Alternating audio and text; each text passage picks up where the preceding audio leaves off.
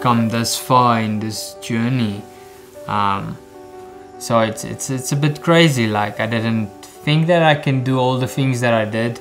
I probably didn't think that I can put on a dress and walk on high heels, but I did that. Probably didn't think that I can uh, wrestle a bunch of guys covered in oil, but I did that. And also, I didn't think that I could manage to make uh, friends with this 19 people that I really don't know, and it's such a big group. I didn't think that I will make friends, but I did.